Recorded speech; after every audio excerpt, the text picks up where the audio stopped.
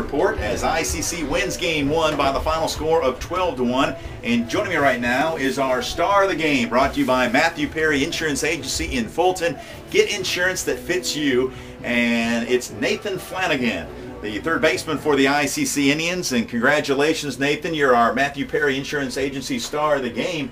That was a fun one there in game one, winning 12 1. Yes, sir. We came out hitting the ball well today. We uh, cleared our heads. Coach Carter had a met, we had to meet in the classroom, and uh, he uh, he said he's gonna have a new attitude on the team. He's just let's play relaxed and have fun. So that obviously worked. Yes. So, Mission accomplished, Yes, Nathan, in, in game one. And of course, you get a run in the first inning, which I thought was important.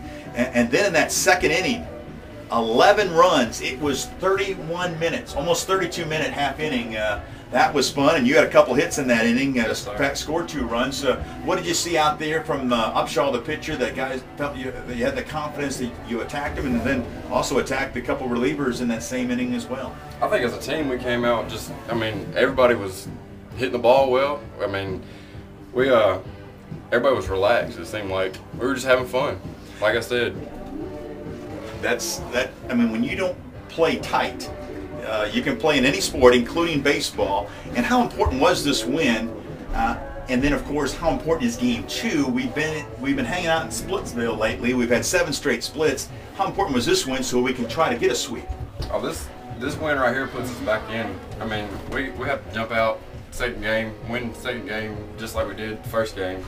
That's what Coach Williamson was telling us the other day at practice. We we got to win the third, fourth, and fifth inning of game two. Come out, play hard, just have fun again.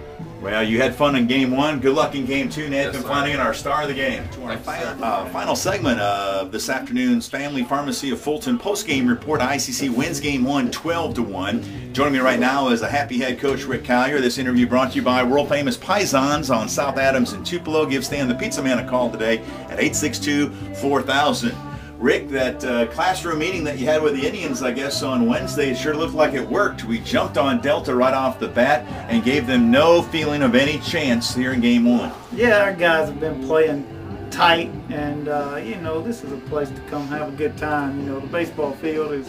We all have worries out there in our life, and uh, when you get out here and you make this a job, there's something going on wrong. And uh, we got in there and talking about inner arrogance and believing in yourself and having a good time, and uh, you know being an Indian when you know it doesn't matter who gets the big hit or it doesn't matter who's in the lineup. Just about an hour long segment in the classroom and and uh, you know I wanted them all to you know sign a sheet of paper and talk about commitment and things like that and uh, you know, I'm gonna catch a different attitude. You know, I wasn't used to seven splitsfuls like y'all. You know, uh, we uh, we've had a few. We've had some trying times and some not getting some big hits, and uh, and uh, you know I've made it tight. I think a little bit, and uh, it's, it's a good place to be. I mean, anytime you're on a baseball field, it's a great place to be, and I'm trying to instill that in those guys. Well, was there one play or two plays that stood out in your mind early in that game uh, to put us in control?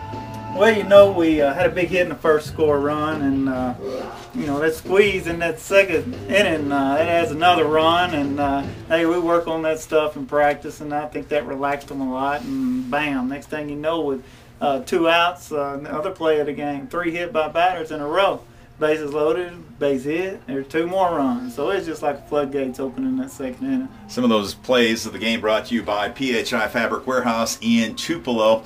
And uh, there's no question, we had nine of those runs in that 11 run second inning was, was scored.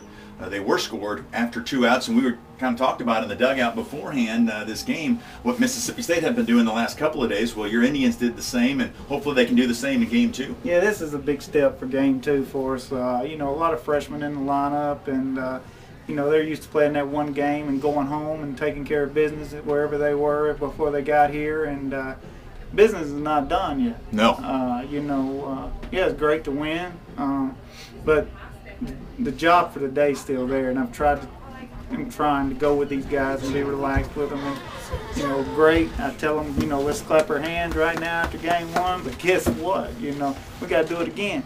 And uh, they they gonna have to figure out how to take care of business two games in a row. I hope today to get a taste of it, and uh, hope it carries on throughout the rest of the division play. Well, Rick, uh, appreciate your time. Uh, good luck in game two, partner. All right, thanks. Rick Collier joins us before and after every game, brought to you by Pisons, located in Fulton.